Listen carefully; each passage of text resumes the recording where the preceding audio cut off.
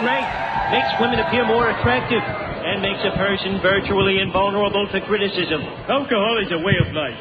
Alcohol is my way of life, and I aim to keep it. Find it, buy it, make it. I don't care. Just get me some booze and fast. I can't take this much longer. I gotta have a beer.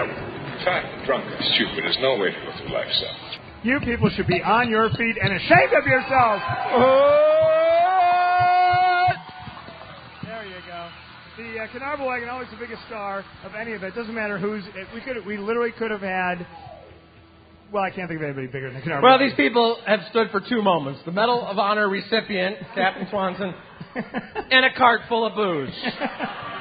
And that says everything about America. God bless this land. All right. So. What does it take to get a drink around here? Wow. Exactly. Well, now we have uh, Susie Sunshine, as we call her. Susan Carlson is generally the proprietor here. But uh, today I'm taking over in honor of Jim Johnson, our retired comrade who is enjoying, he's, he's right now having a, a or six or seven somewhere in Kansas You know, honey, I never really cared for those people at WLS. oh, Jimmy, just have your drink. So I'm going to have you hold the microphone while I do this because it'll be. Awesome. This is uh, the silver loudmouth, as Jim would call it. This is the uh, the vodka martini after two. God knows what you're going to say. What are you going to put in this, Mr. Roe? So what we do is, it, it really, it's just it's, it's your vodka of choice, whatever it happens to be. Wow. It's a lot of vodka for those of you listening at home. You never close your eyes. Roe just took a swig. Nice. That's good. That's good. It's still there.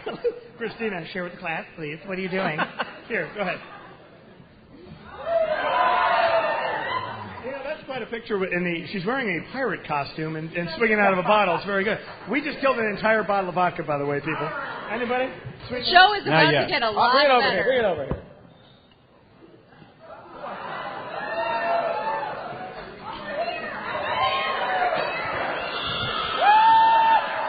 Now Rich is pouring vodka in the mouths of people in the audience. Actually, kind of a religious experience here. Have you noticed? Oh, yeah, that's true. like you need more down there. All right. I do. Christina, would you shake this for me?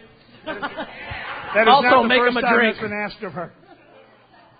If I had a dime for every time I heard that, about 20 cents. All right. And then we pour, and then we toast. Now, everybody have their drinks. Is everybody ready to go? Drinks in hand, very important to have, because this is the glass. picture. Who's going to be our photographer up here? All right. This is the wettest bar ever. Also, something Christina's heard. Beautiful.